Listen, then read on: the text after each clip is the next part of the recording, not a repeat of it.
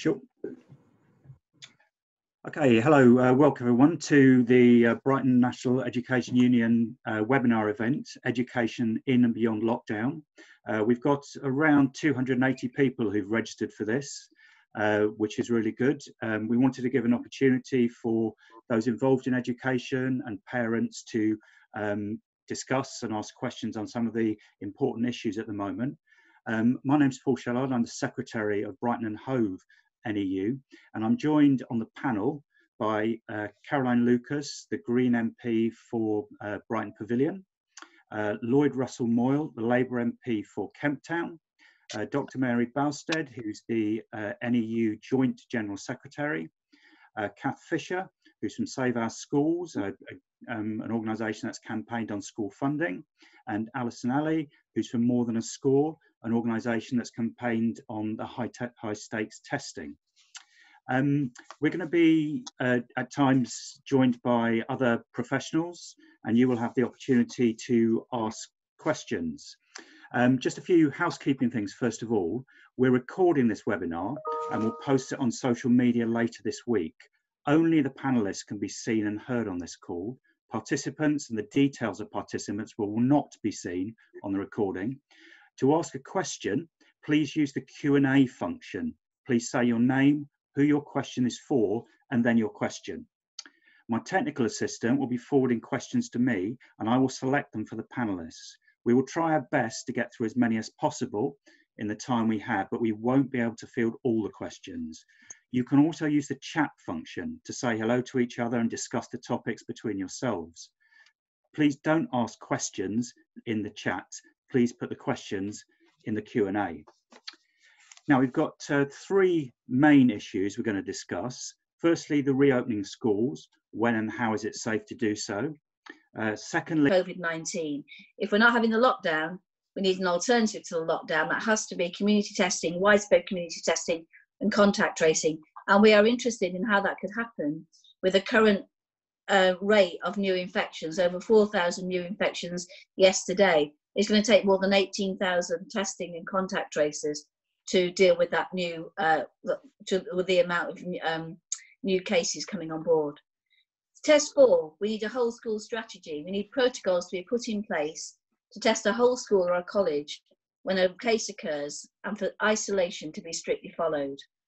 And test five, protection for the vulnerable. Vulnerable staff and uh, staff who live with vulnerable people must work from home. They must be able to fulfill their professional responsibilities to the extent that it's possible. And uh, plans must also be in place to specifically address the issue of vulnerable parents and vulnerable relatives if and when children go back to school. Okay, thanks, Mary. Um, Lloyd, would you like to add to that? Lloyd, do you want to come in next? sorry, I was just uh, taking a little while to get my uh, microphone working. Uh, look, uh, schools need to reopen eventually, but they should only do so when it is safe, and we know that it's safe for them to do so. The problem with this disease um, is that we just don't know a lot of stuff. We don't know how it spreads in children, for example. Some people have said that children don't even get it, so can't even be carriers.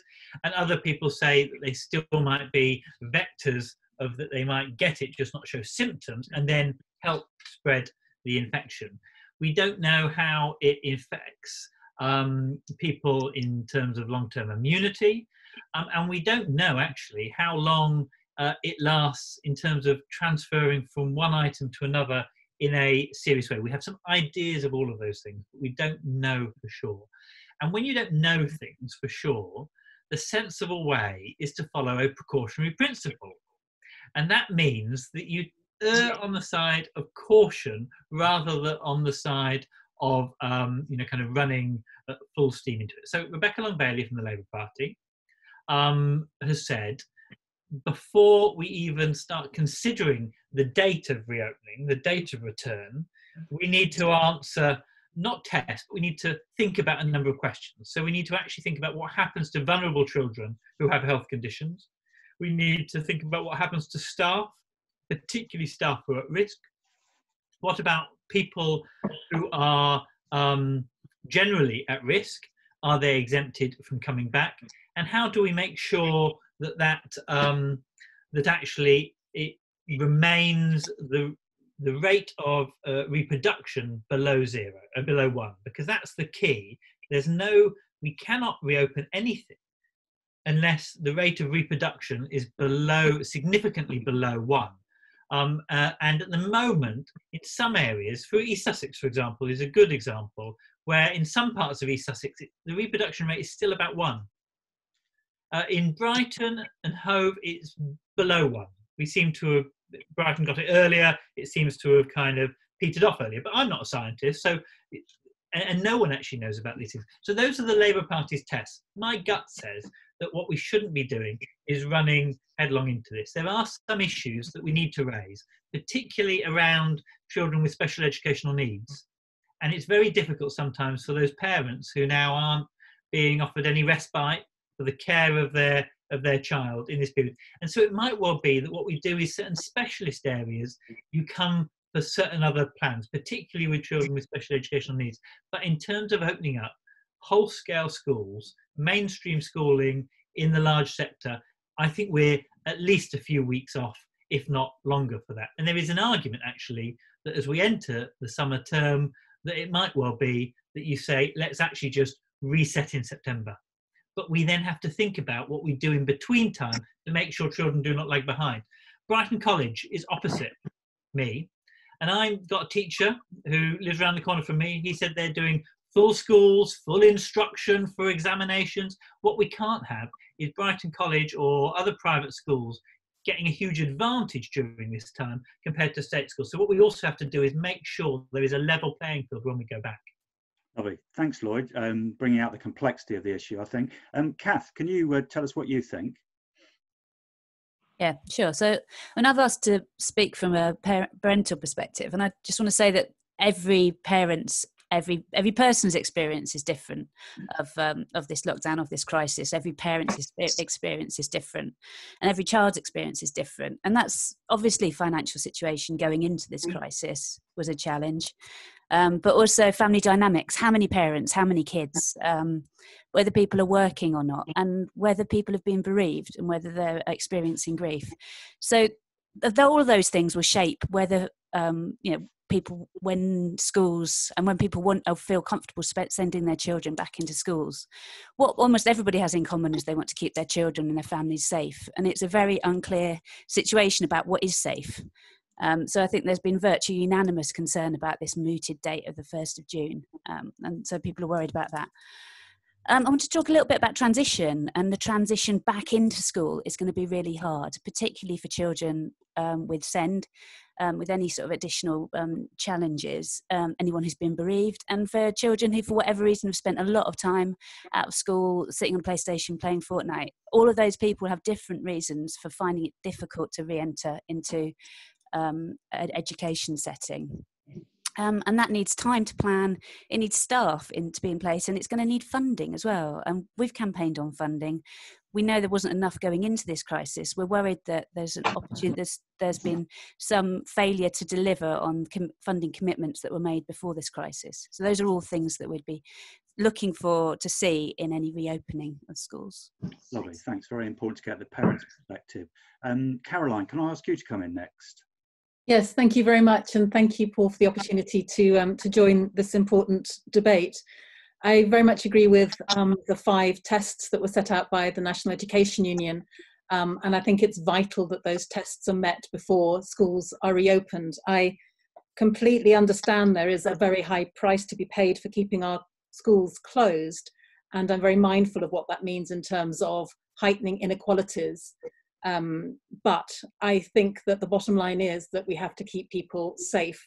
What worries me is, particularly when I hear a date of the 1st of June being suggested, the government, frankly, has got so much still to do to put in place before that safety can be guaranteed.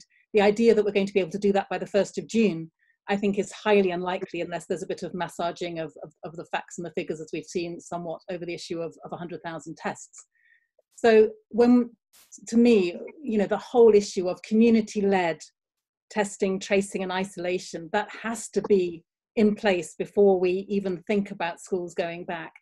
And sadly, the government has just been incredibly slow about getting that going. And they're still talking about a very top down national system using phone apps rather than what so many of the public health experts are telling them, which is that what we need is much more decentralized, locally based people on the ground. Yes, with phone apps, but not thinking that the technology is going to be there kind of instead of that really grassroots presence. So there's a huge amount that needs to be done in terms of the investment in that test, trace, isolate regime, in terms of really understanding what social distancing can look like in, in schools. And I wanted to really underline the point about um, schools that, that cater for children with special education needs. I think the government has entirely overlooked that whole sector. Um, and it's entirely clear that if you've got children with very complex needs, you know they're not going to understand or be able to follow necessarily the whole issue of, of some degree of social distancing. And yet at the same time we know that their families are under massive pressure having them at home the whole time. So at the very least i think what we need is some properly funded government respite for parents of people with with, uh, with with with family members who have special and complex needs because at the moment i think they're kind of the forgotten ones you know we've we've kind of caught up with the fact that you know lots of low paid people in the nhs or, or in the care in care homes, you know, have been people that we haven't properly valued. Well, how much more is that case for for people who are carers at home who are paid an insulting 67 pounds a week? I mean, I know it's not about the money, but the money does matter, and I think that is a reflection of of the worth, unfortunately, that that is currently put on people that are caring at home. So let's make sure that we get those five tests that Mary set out and put as much pressure on the government to get them going and, and to really start investing in that as, as fast as possible because I do recognise that for as long as schools are closed, that is a major problem too. But the bottom line is we've got to keep people safe. And right now, I don't think the government's doing that. Lovely, thanks, Caroline. Um, the sort of special educational needs are very important. Um, Alison, can I ask you to come in finally on the panel? Yeah, sure. Well, you know, to echo what everybody has said so far, safety has to be the primary concern. As a parent, I would want to know that my daughters are safe, that all children are safe to go back, and also that all their teaching staff are safe. So until um, and you know, I, I think there's a real deficit of trust in the government to date on how they've handled this crisis. Um, they, they, they, you know, safety of of their people does not seem to have been the, the main motivator at many, many steps along the way. So again, as, as Cath was saying, this sort of slightly random 1st of June date that's been plucked out of the air, uh, I, there's, there's very little sense of trust from parents in that being a date that, that would be backed by uh, either teaching professionals or, or scientists who are not under the influence of any government advisors who may or may not be sitting in on those meetings. So, um, you know, that's uh, that, that, that I'll keep it as short as that because I think everybody else has really covered the topic well. Yeah, thanks, Alison. Um, at this point, I'm going to bring in Anna Watson, who um, is a teacher who works in um, a nursery school within in Brighton and Hove for, for her perspective on the question of schools reopening. Anna? Hi, yeah, thanks for inviting me. I'm, yeah, I'm a teacher at a nursery school at the local in Brighton Hove, and I'm also a, a parent of a secondary school child. Um, so, I mean, we obviously do want, like everyone said, we want schools to be open, but it has to be safe. That you know, that's the first thing. It has got to be, and we've got to follow the um, NEU five tests before doing so. And even when we get to that point and those five tests, you know, they're there, they're in place. Um, there's so many questions about, you know, it has to be phased. We can't fully open in one go. Um, I st- even with it being phased or children in rotation, I still can't imagine how we would still implement um, social distancing in schools from secondary. You know, they're massive, thinking about children moving about the schools within the classrooms.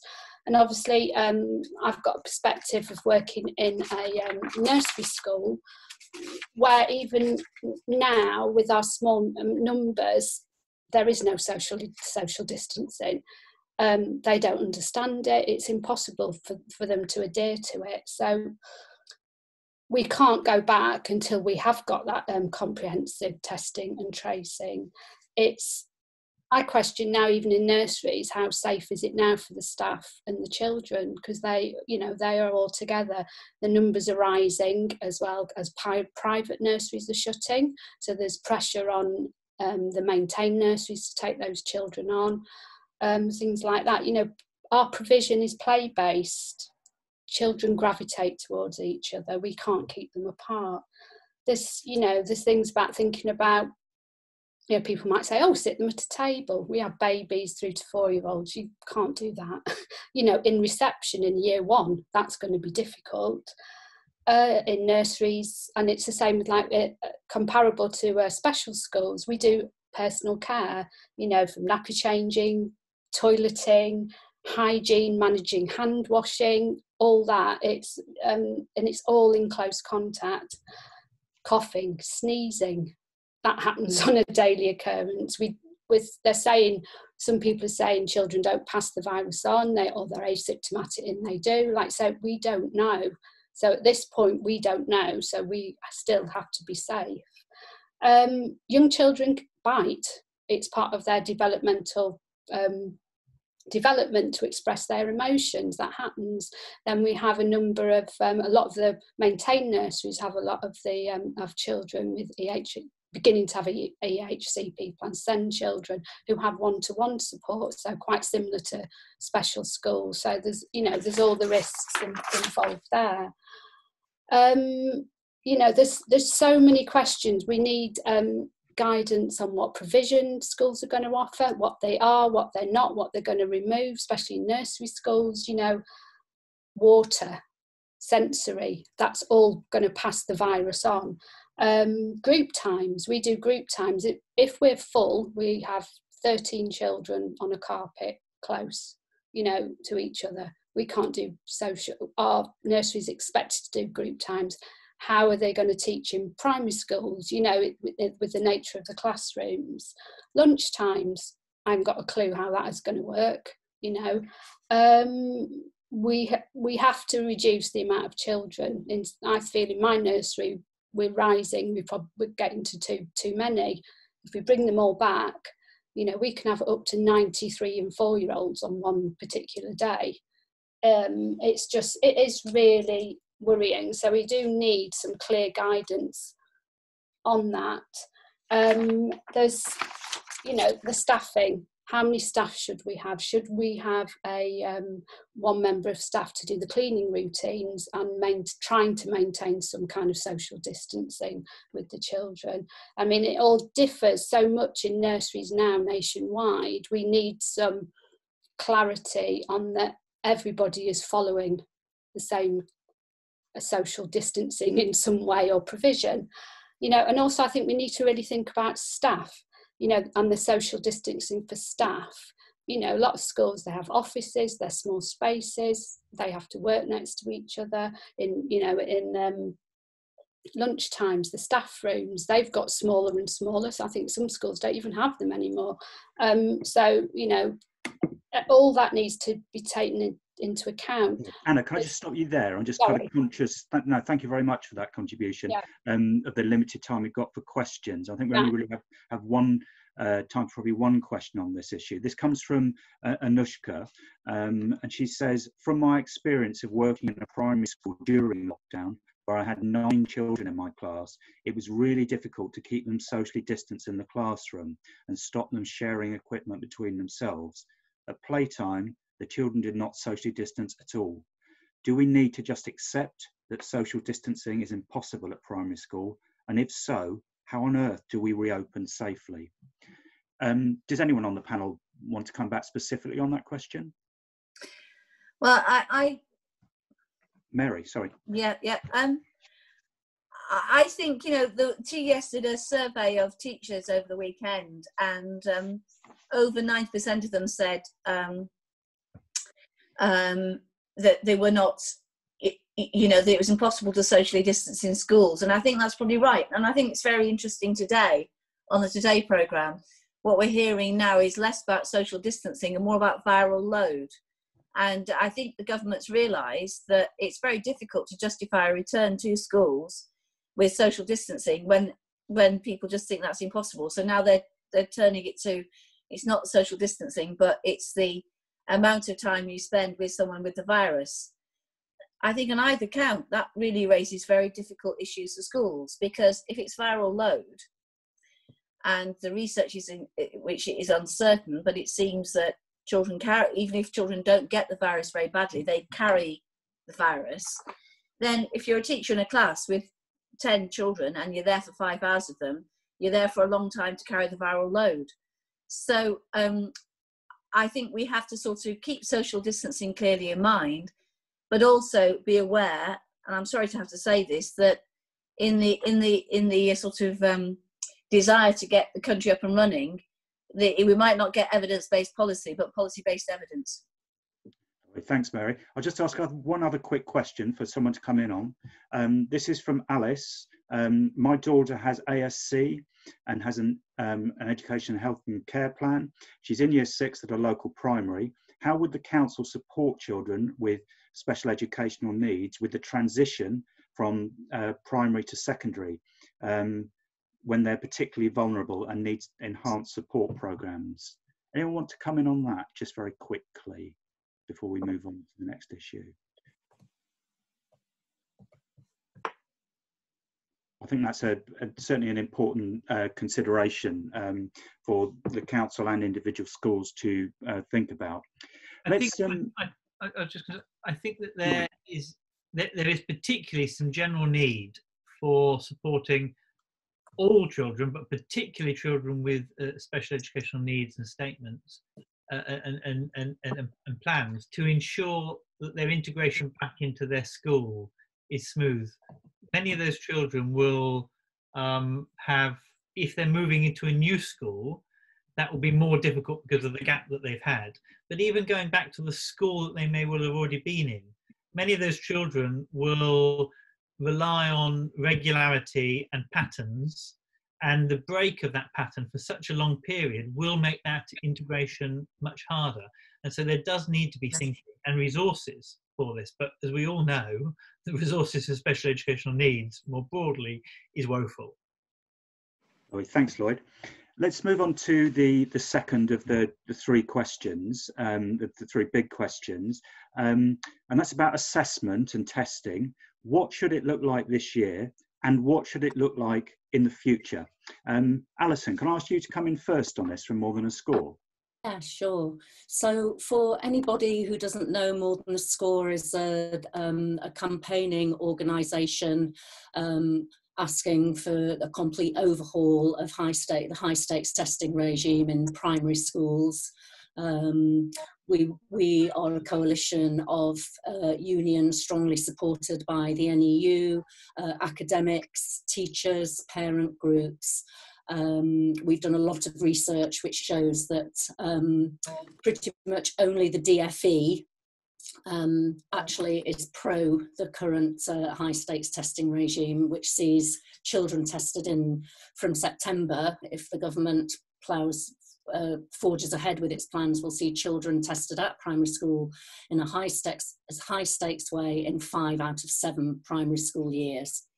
So I think um, the advent of COVID 19 has thrown up some really, really interesting questions for us. Uh, I'm sure I'm not alone in noticing that the announcement of SATS tests being halted this year uh, was not exactly met with um, howls of protest. Um, I would imagine, uh, with everything else teachers have on their plates, it was just one big, huge relief for teachers. I think parents either felt relief, uh, jubilation, or utter indifference.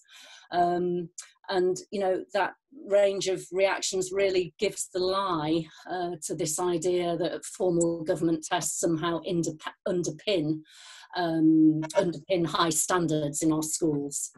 Um, they show them for what they are, which is a total waste of everybody's time, uh, uh, while at the same time putting head teachers, teachers, that filters down to, to the pupils.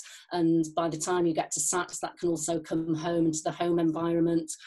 Um, just putting this immense, immense amount of pressure um, onto, onto young young children um, and all of this because the government is obsessed with data and with league tables Um, so, Thanks, you know, my good. hope obviously is a, uh, have I overrun?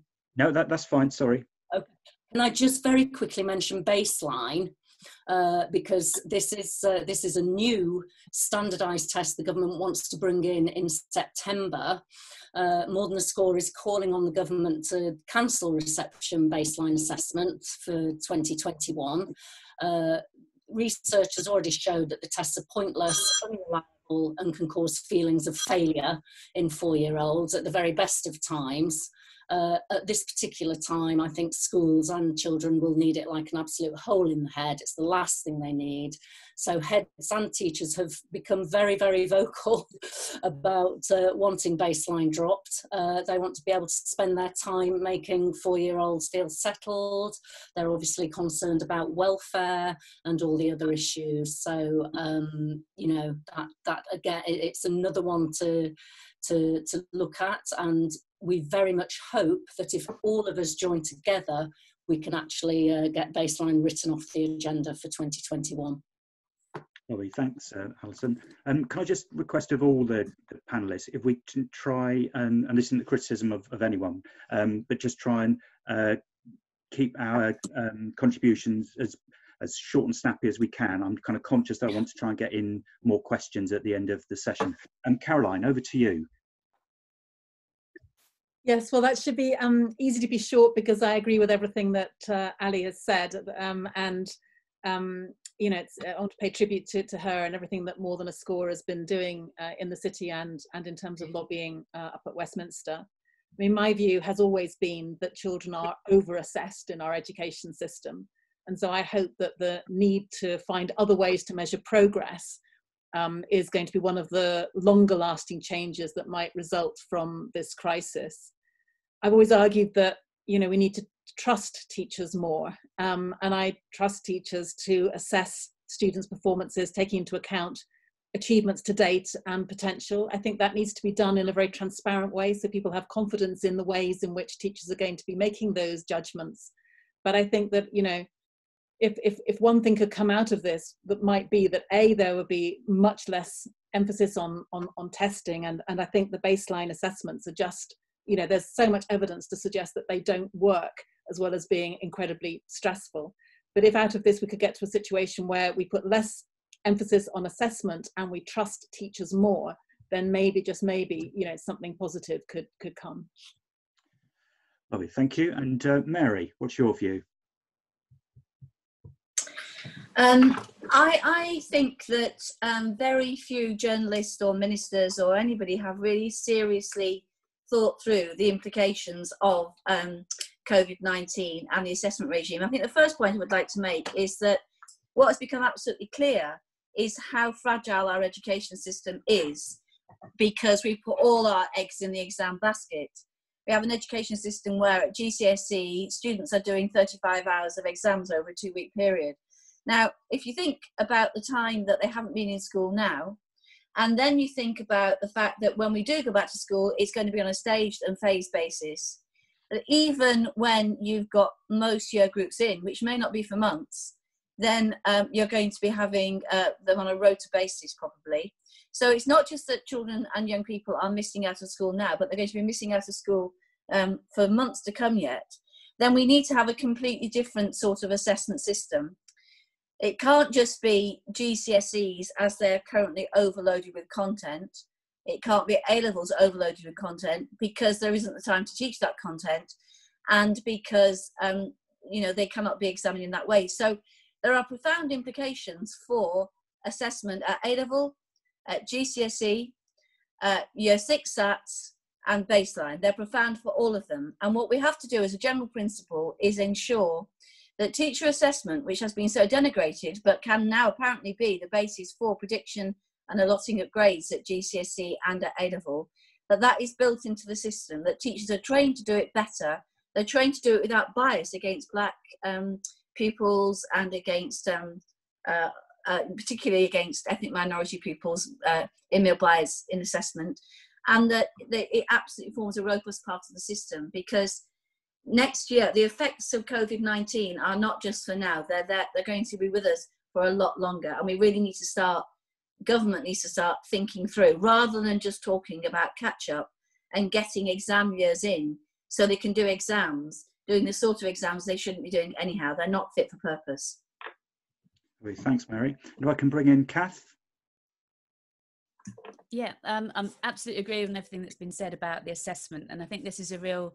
I mean, as I am a parent of, of primary age children, so more focused on SATs than the other the other kinds of assessment. But this gives us an opportunity to rethink and rethink the value of that kind of testing, which I'm very sceptical about, and whether the value they bring is worth the cost. Um, and one thing we haven't talked about so far, but it's just about I think lots of parents have become aware of what um, their children are being taught, um, and um, as as home as, we're doing home learning, I think um, we're finding that um, it's it's not sitting down and correcting, um, you know, naming bits of grammar in a sentence that is inspiring our children. It's following their interests. It's doing top, topic based learning, and I think um, thinking about what we're teaching in schools and what kind of skills are needed and what kinds of attitudes are needed to respond to this kind of crisis. You know, where we've seen the incredible sort of progress made is in people working together. It's an innovation. It's teamwork. It's not. It's not this kind of rote learning that seems to have you know come in um, and things that can be tested. So yeah, it's it's it's a chance to rethink curriculum as well as as the way in which assessments undertaken.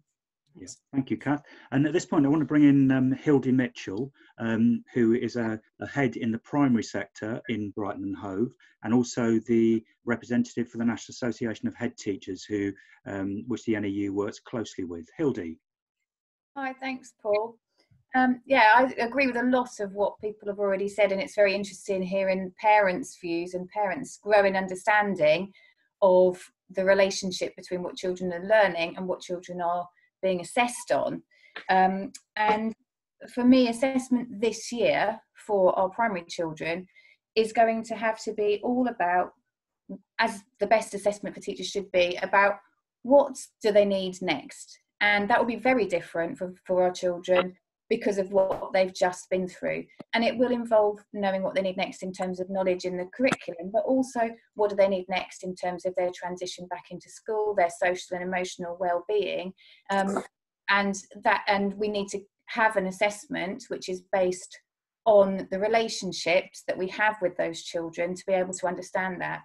Um, for that reason, I am incredibly worried about the government pushing through with baseline for reception children who will not have have missed who will have missed a lot of their socialization in nursery setting and for whom school is likely to be much much more difficult.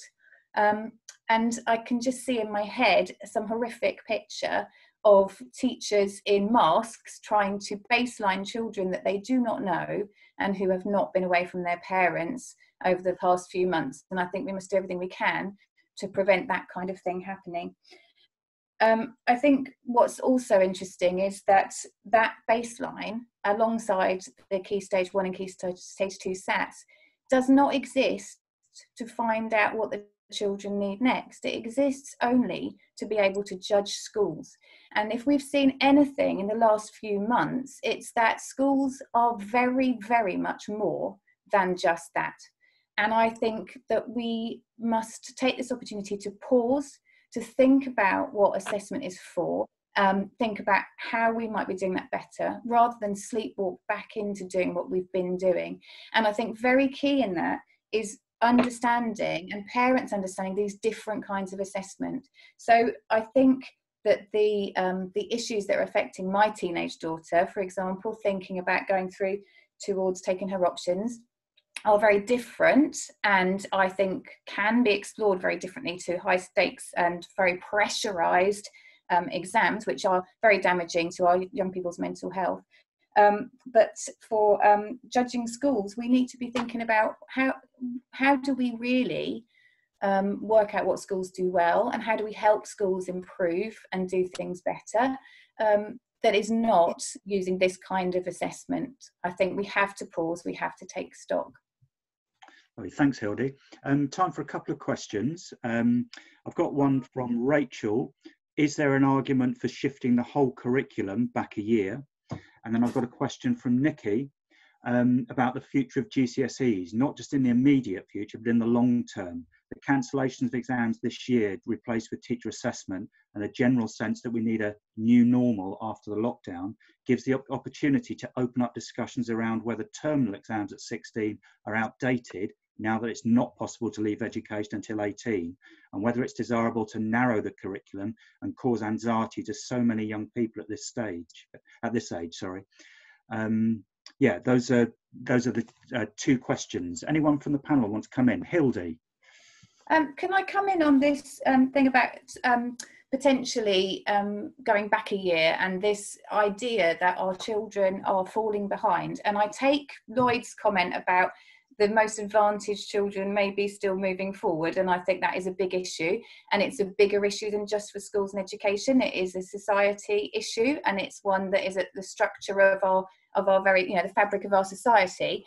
Um, but i was before I was a teacher i was an anthropologist and i'm very aware that any um, pinpointing of what is age related or what is um, expected is very historically and culturally specific and actually, if we choose to take that apart, we can. And we don't have to have this idea that our children are all falling behind somehow and that we've got to cram them full of stuff to help them catch up. I would rather us focus on the structural inequalities that underpin the, the damaging gaps that exist for children and thinking about what is it that is really needed in our society right now at various points and that point about post about 16 being the point where we make those judgments, summative um, uh, assessments, I think is a really well made one actually from a, the question. Thank you. Caroline, do you want to come in on this? I agree with, with, with what Hildy said. I think that's a, a, a, healthy way of looking at it. And I wanted to focus, though, on the question about the GCSEs and whether we still need them. And it seems to me that so much time is taken trying to get kids through exams. And it's such a waste of all the other wonderful things that we could be teaching them. And I think it speaks to a model of education that still sees you know children as kind of empty vessels that you fill with information. And then if you're lucky at a certain date on a certain time they might just regurgitate it in the way that you've told them. But that is such a small narrow idea of what education is about.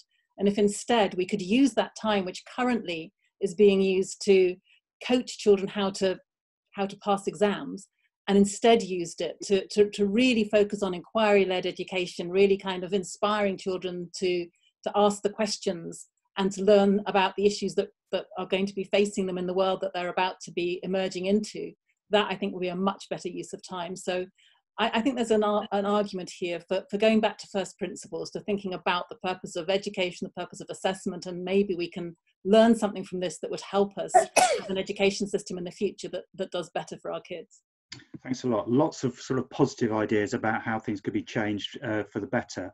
At this point, I'm Lloyd, very quickly, and I'm going to move us on to the next issue. Lloyd?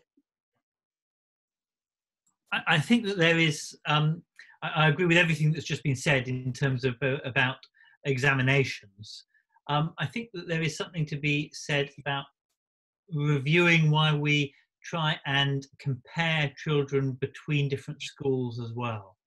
And I think that that is also, you know, kind of, even if you shift the examination period to another time, or even if you get teachers to kind of grade what their um, students are, I think we also need to move away from this idea that one school is competing against another school in this kind of uh, uh, uh system of, of, of competition, not only within pupils, but between schools. Because that also prevents teachers very often being able to support the need of the child and the pupil at that moment because they're constantly having to think about well how are these people compared to everything else? And what's really interesting is one of the things that the government have asked each to do is not do that this time. They've said to them can you just rank your children within school? Who you think is the top? Who you think maybe is the bottom? Now, I'm not saying that that should go forward, but that is an interesting step change away from ranking children between schools, just within school. And maybe if we can harness some of that and reduce that kind of league table competition between schools, there could be some positives. I'm not saying that what the government proposed is the end result, but there are steps towards it, which I think we mustn't let go of. Thanks, Lloyd. If I can move us on to our third um, main topic, and this is homeschooling and working from home. What should schools be doing at the moment? Um, and I was going to ask uh, Cath if you want to comment on this first of all. Yeah, sure. Um, so I think, um, as I, I, started by saying, um, with uh, that everyone's experience of this is different, and there are so many different factors that shape how parents and their children are experiencing this crisis. I think one thing that pretty much everyone has in common is a huge respect for teachers and what you do every day, and this has been an ongoing theme on all the sort of groups that I'm on. I mean, I've got two children, and I can't get two of them to sit down for any of the time to do what I've asked them to. So I think huge respect for teachers, and um, you know, hopefully that will permeate out um, and, and retain. But um, I think a lot of parents, I know some parents, and I saw there was somebody in the in the chat who are making it work, who are on top of it, who are providing their children with with brilliant education, and that's great. And you know, huge respect to, to people who are doing that. And I, but I know that's not a universal experience. Um, I know that lots of the parents on my son's WhatsApp group are, are just you know aren't engaging with the stuff that's being sent home from school. They're overwhelmed for whatever reason um, whether that's standing in queues whether it's trying to juggle working um, or looking after people. Um, so i think there are a lot of people who have given up entirely on on the stuff that school is being is sending home and a lot feeling very overwhelmed by the material that school is being sent uh, it, it's been sent the material being sent home even though a lot of it comes with a very useful message around you know this is we're sending this out uh, you do you can you know do as much or a little a little of it as you like. Um, I, I think there, there is an issue there. However, lots of people are doing other kinds of learning. You know, um, lots, of, lots of people are baking. They're doing, um, you know, people who have time to, who aren't working all hours. They're doing things together that they might not ordinarily have time to do. And I think that's been really positive. They're able to follow their children's lead. So I know someone who's spending um, the next this week focusing on slugs because that's what her son's really into. And there's all sorts of stuff that you can do around slugs.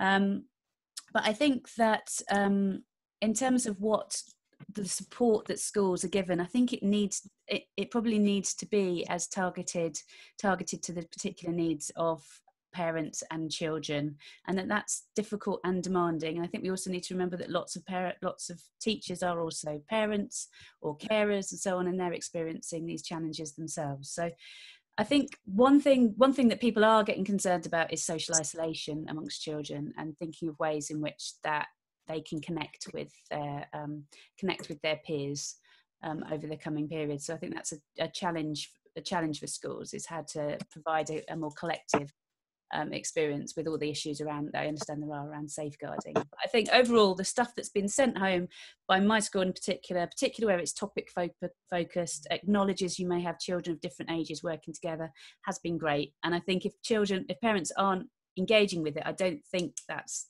necessarily to do with that's not the failure of the school. That's just all the crazy circumstances that people are in at the moment. So thank you for everything the teachers are doing. Thanks cath. That's it's really good to get sort of a sense of what the reality is um, i think for parents in dealing with this. Um, mary can i ask you to uh, give the neu perspective on that? Yeah so um, i had a massive twitter row with uh, andrew adonis who used to be the schools minister uh, in the early 2000s this weekend because he said that schools are letting uh, children down if they weren't providing a full online curriculum. Um, and that offended a huge amount of teachers and leaders who are working really hard um, to, to provide help for learning. You know, the fact of the matter is we have over 1 million children in the UK with no internet access. The only access in their home is through mobile phones. So they can't do online learning. The fact of the matter is you cannot replicate school in every children's home. And um, some of the online learning stuff which is being produced um, um, has, has been of variable quality. Um, schools are doing what they can to support children's learning at home, but they can't, but, but they simply can't, be teachers can't replicate themselves in every, in every home. Learning is a communal act. Children learn from each other as well as from their teacher, and schools exist for a purpose and a reason they exist in order to enable children to socialize, learn together, learn from each other, and learn from their teachers. And learning is a communal act in schools. So um, the NEU's focus has very much been we've, we've um, set up a parents microsite It's been uh, accessed now over, I think it's um, hundreds of thousands of times. And on that microsite, you've got good, very creative uh, things for parents to do with children, not worksheets, but um, penguins getting lost in the South Pole. And it's geography, it's drama, it's uh, art, it's a bit of mathematics, really good, creative, themed work, um, th- which children will enjoy. And uh, it's clear to me that one of the key things we're going to have to do is recognise that um, children need to be more independent learners. I mean, the, the, I'll just say this to finish. Uh, the fact of the matter is, in England, we come third of the international league tables for rote learning. So um, uh, Ireland comes second and Uruguay comes first. That is no league table we want to be leading on. We don't want to be leading on rote learning. And the reason why that happens is because the only way we assess is through exams. What has to come out of here will have to be different, but I would just caution that it will be easy. Uh, the right are massing. They're very uh, aware that what they have imposed on our system is under attack and they're looking to defend it. They're keeping quiet now, but they won't stay quiet. Thanks, Mary. Um, Alison, can you come in? Is your experience similar to Cath's? Um, yes, it, I, mean, yeah, I'd really like to echo what Cath says um, with, a with a just quick little snapshot of one of the things that's been going around on on social media, which was a teacher saying, um, you know, we know that you're not you're just not going to be able to teach your child all the things we teach them at school. Don't worry, I'm a teacher, I have superpowers. We will take care of that when the children come back. Just keep your kids as happy, healthy, and safe as you can. And that just kind of took off all through uh, all through the month of April. Um, I think you know uh, I, I agree with Cath and, and certainly other parent campaigners have fed back uh, similarly that you know teachers and schools have uh, adapted admirably and at lightning speed to a very very altered teaching landscape and are quite clearly doing the best um, in a circumstance that none of us um, you know none of us have ever been in before. Um, as a parent, I'd also like to say that, you know, what, what I'm hoping for our, and I'm going to bring in assessment again, as Mary has done, because, you know, what I'm hoping, I think she's quite right. And, you know, parents are more aware than ever of the extent to which assessment dictates what our kids are doing at school, because a lot of them have come back with these uh, SATS learning pack, packs or, or phonics prep packs. And um, you know but parents are getting real first-hand experience of what our teachers are obliged to make our children plough through. Um, so I'm feeling that really a, a sort of microscopic protein coated uh, organism has sort of cracked apart um, the education system as we know it. Uh, who would have guessed that that would happen? Uh, and, and just reveal the extent to which uh, so much of our education is based on assessment.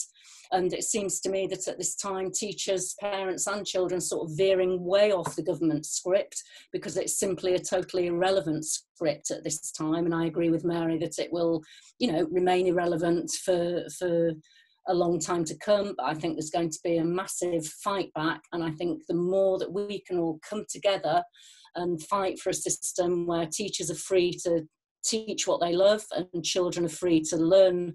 Uh, love what they learn without being limited by these stupid one size fits all tests, then uh, we'll have a much happier, healthier, uh, and more educated society moving forward for whatever challenges are around the corner. Climate is definitely one of them in our faces now after Corona. Thanks, Alison. Caroline, what do you think? I think I agree with everything that, that Alison and, and, and Mary and Cath have, have said. Um, I think Cath, particularly, I think started off what she was saying by saying everyone's experience is different, and I think that is true. And I heard a a really nice phrase um, that you might have come across saying that we're all weathering the same storm, but we're not in the same boat. And there's that sense that, you know, the same situation, if you like, that we're all facing really manifests itself differently depending on, you know, the capacities that you have, uh, whether or not you have internet in your home, whether or not you're trying to work, whether or not you're trying to struggle just to get food on the on the table. and so the bottom line i think in terms of the question about what what should schools be doing is is just giving as much reassurance and support to parents whatever their circumstances are as they as they can. I saw that same thing on on facebook you know the thing that kind of went viral with a teacher basically saying you know you're doing good don't beat yourself up. And and i think you know it ends by saying you know you're doing enough.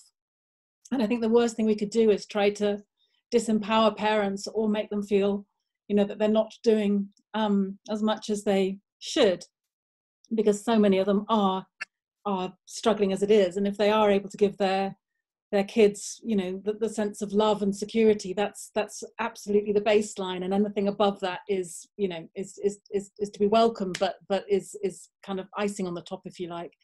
So um I, I hope that as much as possible there can be you know tailored support for parents. I hope that you know the kind of groups that are kind of setting up to be peer support can be as as vital as possible because I think I think the big thing coming out of all of this is just how scary it is to feel isolated and it's hard enough doing everything that people are trying to do in terms of keep their kids educated and possibly keep a job and keep keep a, a roof over their heads but the sense of doing all of that and feeling that you're on your own I, I think is must be the worst thing. So as much as, as we can to kind of spread that sense of solidarity and just to say whatever you're doing you know hang in there. You're doing what you can and and, and that's that's mm.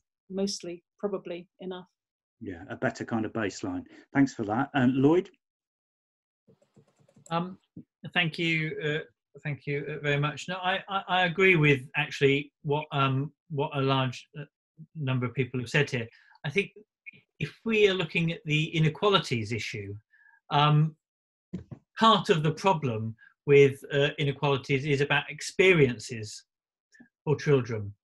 And so I think a lot of parents can get too caught up in thinking they have to teach their children about, you know, kind of how to do algebra, complex equations, the, you know, the periodic table or, or whatever level you're doing, you know, simple, simple arithmetics even actually, um, or, or, or times tables and actually one of the best things that a lot of parents can do at this stage is to give children experiences during this covid uh, crisis. And of course try and weave in knowledge and facts. But if you are doing things that involve say a daily walk in the countryside where you are looking at the plants and the fauna and flora that probably is an experience that they wouldn't get in, in other circumstances and will allow them to excel because when they then go back to school and have to write about their experiences, they are able to be inspired by so much. I, I, my next door neighbour was a, um, a, teacher at the local primary school, um, which uh, um, uh, I live in East Brighton.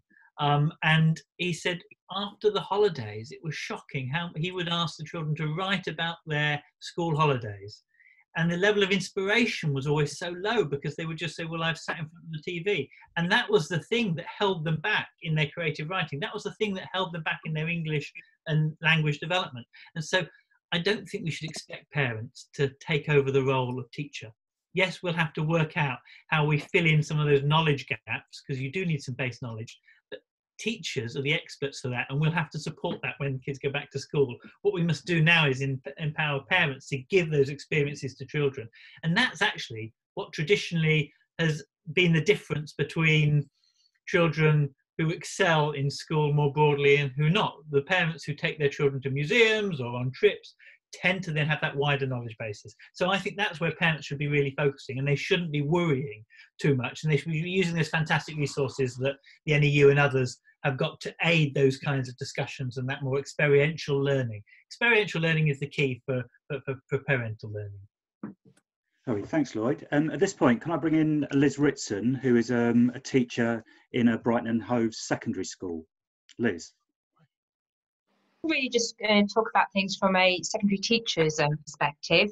Um, really echoing a lot of what people have said is you cannot replicate the classroom online. So, for example, when I'm teaching, I can scan a room, I can see who's understanding it, who looks a bit bored, who looks like they've, you know, zoned out. Um, and I can go and I can talk to those people direct, or I can represent that information in a different way and you can't do that online. Um, and i think that's one of my um, big fears is that the government thinks that actually you can deliver all this content online and, and you really can't. Um, also echoing what a lot of people have said about the different working environments for both teachers and staff and um, for parents and carers and their children. So there's an assumption that staff have everything set up at home, that they have access to a laptop. I mean, it's incredibly difficult to make resources if you've only got access to a tablet. And in some schools, teachers are not provided with laptops, whereas they may have a desktop at school, but they don't necessarily have a laptop at home and they may just have access to a tablet. And how you access or provide work um, on a tablet or a smartphone is very different from how you would do it on a laptop. Um, so that's really talking about the working um, environment for staff and also the fact they have caring responsibilities as well. Um, online working takes so much longer to mark. And I say this, this because um, I've just had to mark online the coursework for my year 11s Whereas if I'd been in class, if I could have done this at school, it would have taken me a fraction of the time. But actually having to go into every single child's electronic folder, accessing the work, and then sort of giving it a grade has taken me a phenomenally long time. And it's just made me feel like a complete slave um, to the computer. I mean, I was quite happy to do it for year 11s because of the um, high impact it could you know um, have on their final grades but it's not something i'd want replicated for every single year group.